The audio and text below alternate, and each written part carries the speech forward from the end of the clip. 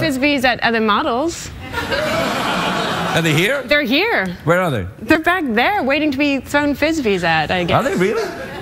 No, I don't. Terribly set up. Is that true? It's not true, but we could take a commercial break and then come back and throw frisbees. No, we can. No, we because can't. what if we hit them?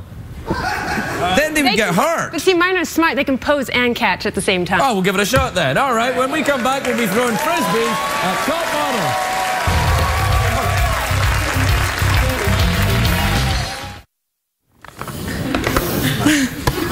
Myself, Keith Olbermann, and Coco Rocha are now about to do something very dangerous that you won't see anywhere else on television.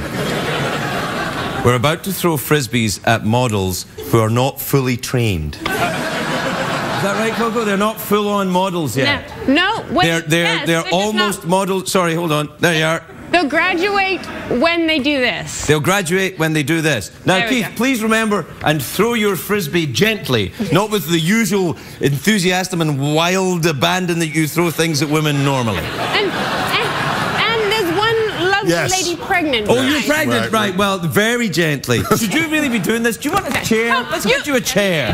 Margaret, get over here. Yeah, you can be throwing. You can be throwing. That's probably better. And now yeah. I feel like we're like. Now.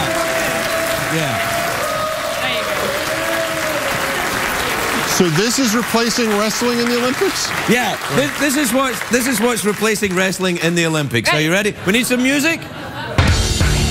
All right.